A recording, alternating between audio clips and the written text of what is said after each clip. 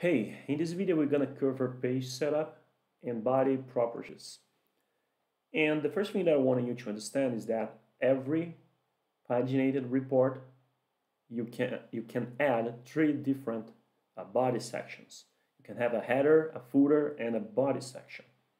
So by default, you only have the body section and uh, the page footer, right? And you can see that by the, by the properties here. If you don't see this screen coming here into view and enable properties, okay? So if you click here uh, on this section, you see body, and if you click on this section, you see page footer. If you want to add or remove header and footer, you can come here into insert, and there is the header and the footer. So you can add or remove and add or remove, okay?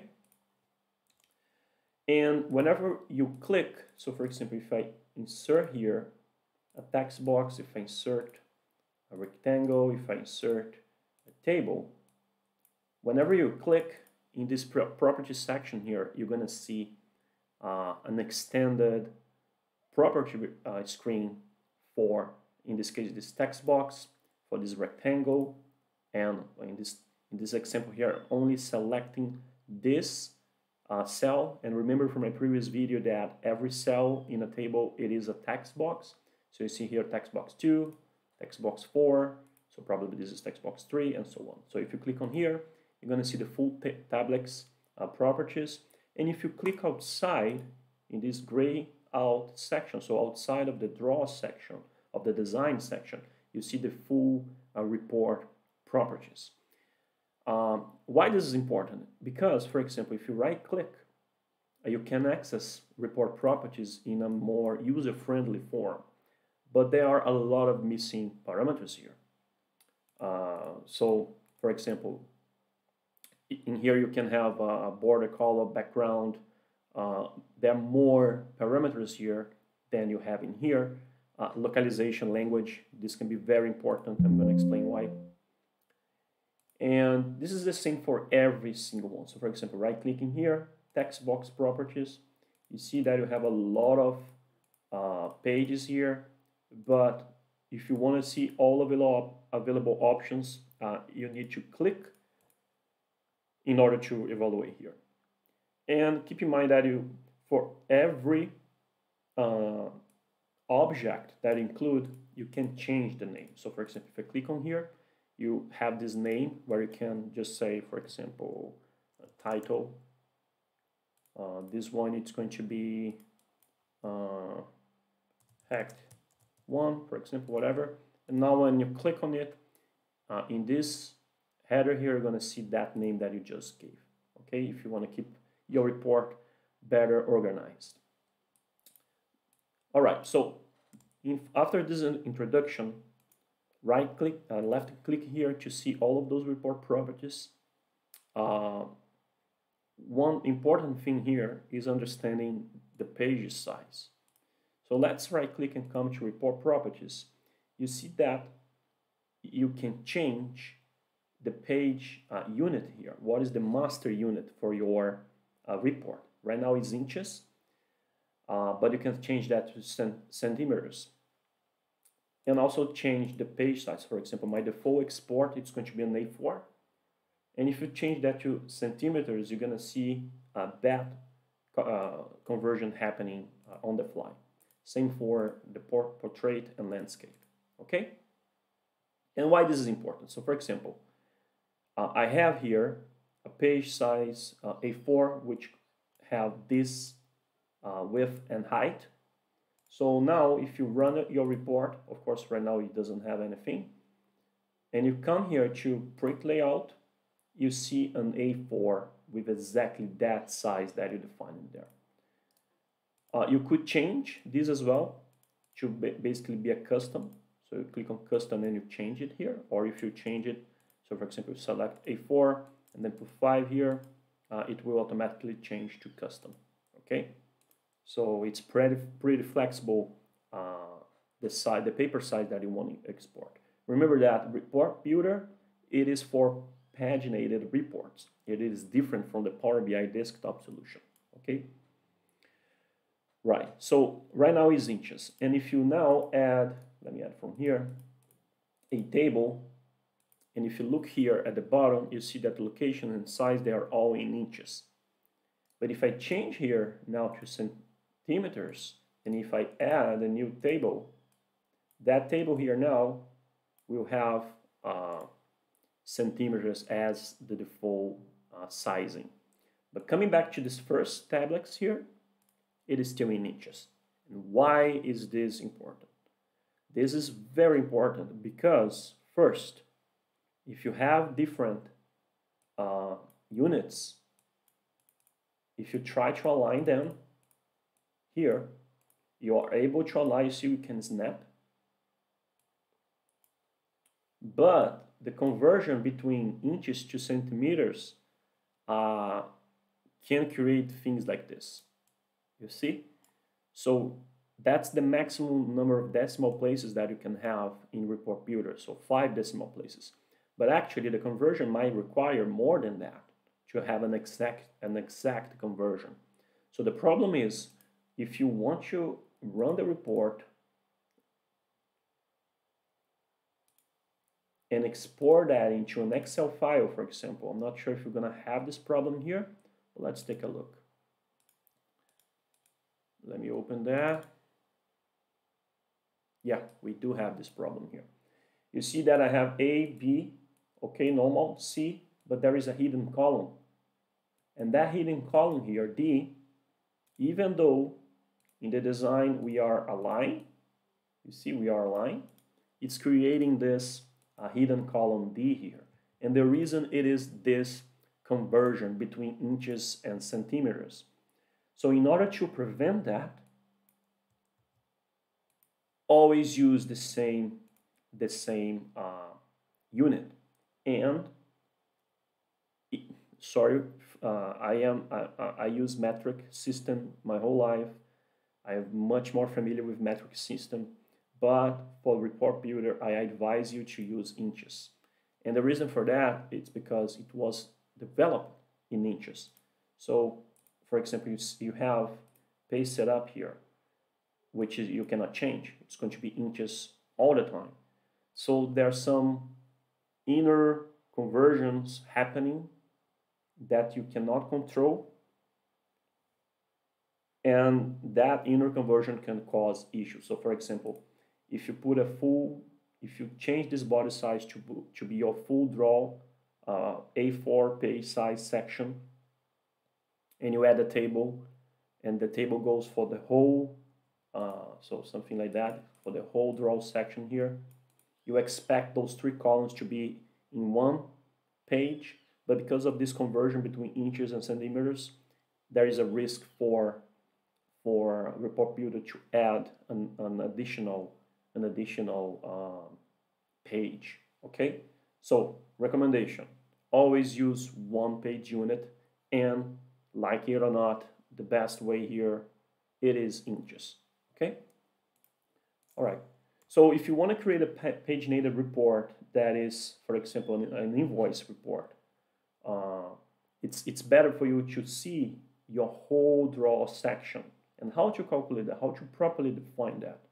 Because when you export it, so for example, let me create a rectangle, let me put a rectangle for the, my whole area, and let me put here, actually it would be easier if I just add a border to this body type. And you see that if I print layout, it's going to extend uh, this, you know, the body, the body page, it's going to be extended to the whole page size. But now, if you add that rectangle that I mentioned before, so this rectangle, it has a specific size. So let me put it like this, for example. Let me have a, a marge and you see that, look at the amount of space that you have in here, right? You cannot see that properly because this draw section, it is, it's, it, it is just small, right? So from this whole page size that you have available, you're just using, you're just seeing this one. And if you want to create a paginated report, an invoice uh, an order, a production order, uh, declaration, anything like that, um, then you need to understand your full draw section so you can draw and can take the most advantage of the page size that you selected. So the way I do it, again, let me just confirm, okay, it is in inches. So I have here, of course, uh, one inch for uh, for margin is too much. So let me put 0 0.2. So now I have here uh, 0.2 of margin on my A4. This is my full A4. So I need to discount the margin. Okay. So let's do that. So let me copy this page size here. Uh, so this is my full page size, but I need to discount the margin in the body uh, draw section here. So you click on this, you have the size again, and now you discount. So this should be 7.8, right? And this should be uh, 11.29. And there we go. So here it's your whole draw section. So let me add, so my, my uh, rectangle got resized here automatically. So if I run it now, you see that it's matching. My full page size, it is matching with my uh, uh, rectangle. So let's take a look here. Let's put more than one rectangle so you can just take a look and okay so I'm copying Ctrl C Ctrl V here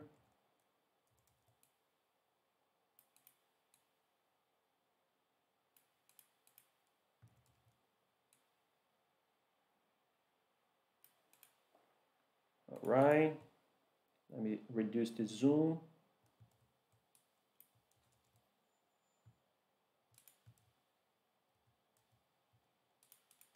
Okay, so let me just put here at the bottom.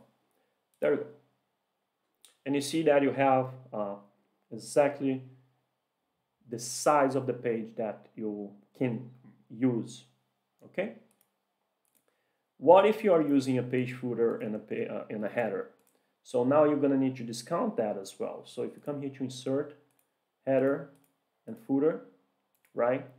So clicking on the header, you have what is the height of it uh, currently is 1 inch and the foot footer here is 0 uh, 0.45 so let me put 0 0.5 so the calculation is easier so now I need to reduce 1.5 from uh, this this size over here right? So that's a math that I will need to do in using a calculator.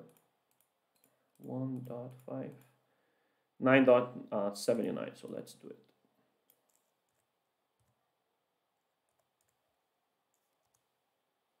And there you go. Now you are compensating to have your whole draw section in an A4 format when you have a page header and a page footer, right? So let's put here in the header properties a border that have that same border here in the body, which is already here, and let have let's have a, a border here as well. So if you run this, you are going to get a single page to draw everything you need. So let's then uh, add a quick table here so you, can understand how this works. So you added a table here, you put here and you expand this. Let me select order number, uh, setup time, and operation name, for example. So running this now, you see that I'm using exactly the full uh, width of my page and now I just have further pages with additional data. All right, so you see between, there is, there is another trick in Report Builder. So let me zoom in this here a little bit, which is if you try to drag and drop this to snap, you see zero point, so it's snapping now.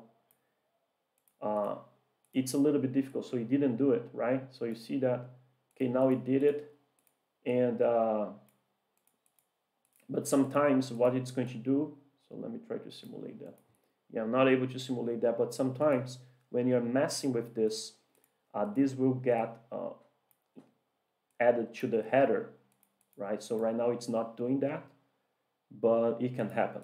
So it come here to the uh, I know why not. So it's because we need to use you cannot have a table in the header so apologize. So for example if you wanted this yeah like this right?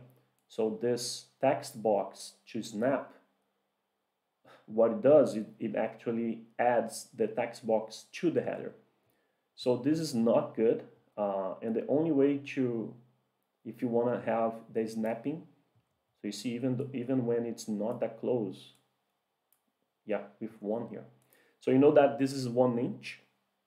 So what you can do you click here you come back here and you see the location. The size is one inch 0 0.25 and you, can, you just change that to be uh, 0 so you are exactly at the top left. You see that the location now is 0 0 and then can help you uh, doing a proper snapping in the tool. So here you don't have a problem but sometimes you have stuff in here in the middle and the snapping is creating issues for you. And you can just come here and say all right so my previous one is location 00 and the size is 0.25 so I can just type in here that the location is 0.25 all right? Okay so this video is it, it's more for those tips and tricks on page setup and how uh, to proper uh, use uh, units. And uh, trust me you, it's going to save a lot of time if you're creating a complex report and if you try to export that reporting uh, later on into a PDF or into an Excel file and the format is not respecting what you're seeing in the report, probably uh, it's because of one of those reasons that I mentioned in this in this video. And that's it. Thank you.